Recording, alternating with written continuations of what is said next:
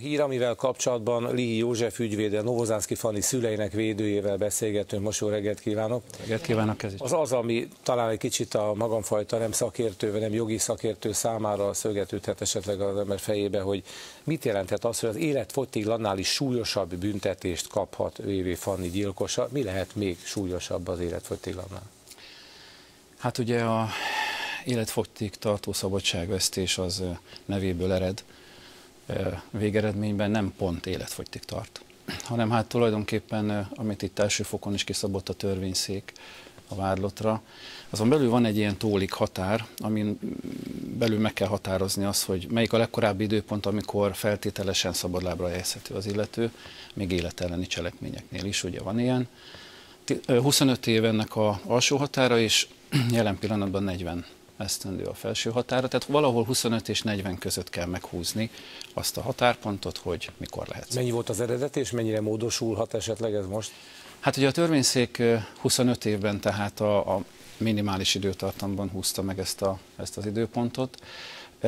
Ügyészségnek, a főügyészségnek a felebbezése tulajdonképpen pont azt a célt szolgálja, hogy, és van is rá remény, én is úgy érzem, hogy a 25 év emelkedjen fel magasabb időtartamra, tehát magyarul a, a vádlott hosszabb időtartamot töltsön le a, a, a fegyházban ténylegesen.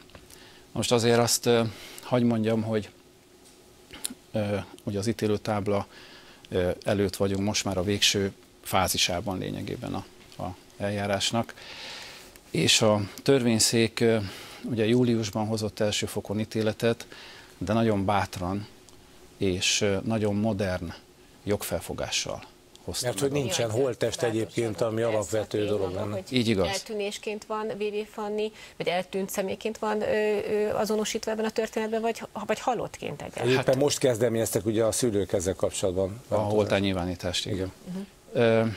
Hát tulajdonképpen ugye ő eltűnt. Holtan őt senki nem látta valójában, illetve hát a vádlott láthatta őt holtan. Az ítélet maga nem is tesz megállapítást azzal kapcsolatosan, mert nem tud, hogy Fannit tulajdonképpen hogyan gyilkolták meg, mit csináltak vele, mit tettek vele.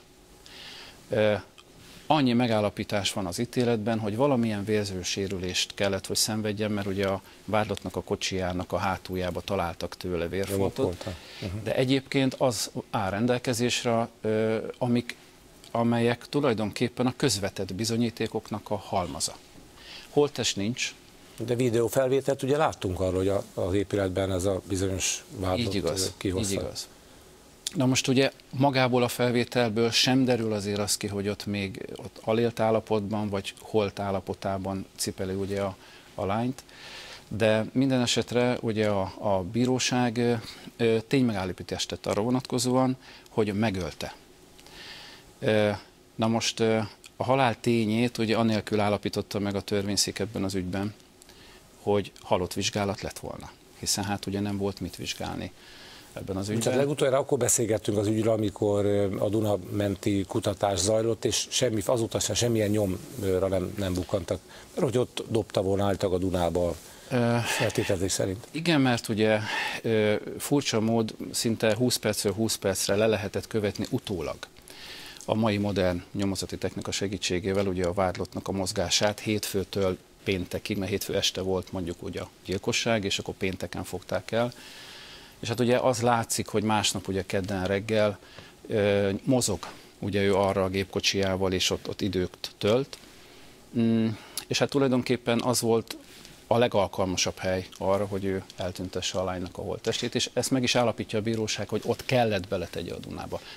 Más kérdés, hogy nem tudjuk, hogy mi lett vele. Ilyenkor, amikor egy ilyen döntés születik, hogy életfogytiglani börtönbüntetés vár az elkövetőre, akkor a holttest megtalálására egyébként tudnak, vagy fog a rendőrség további erőket biztosítani, vagy például, hogyha a szülők kérvényezték azt, hogy nyilvánítsák Fannit halott-e, akkor viszont a nyomozás ezzel együtt mindkét végeredménye le is zárulhat?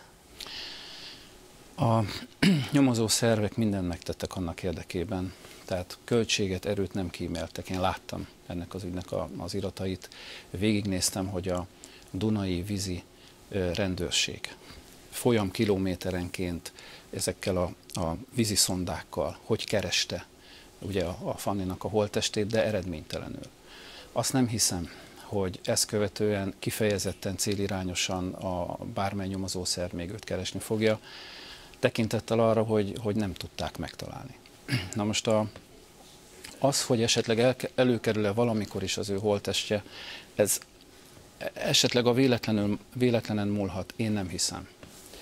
Tehát ezt már a édesanyjának is, val is megbeszéltük, azért ő Persze ő képtelen elengedni ennek a történetnek a, a lélektani részét, tehát a lányának a sorsát. Ugyanakkor a, a, a temeté, hivatalos temetés, ezért a vagyoni kérdések szempontjából van jelentősége ennek a halottán nyilvánításnak? A halottán nyilvánítás egy érdekes dolog, ugye november 21-én lejárt az öt esztendő, amelyet követően ugye már a holtán nyilvánítás eljárásbe lehet adni, és úgy is voltunk vele, én személy szerint is, hogy persze, akkor be kell adni, mert hát hiszen bizonyos jogi dolgokat, vagyonjogi, meg öröklési, meg hát általában státuszjogokat, dolgokat le kell tudni zárni.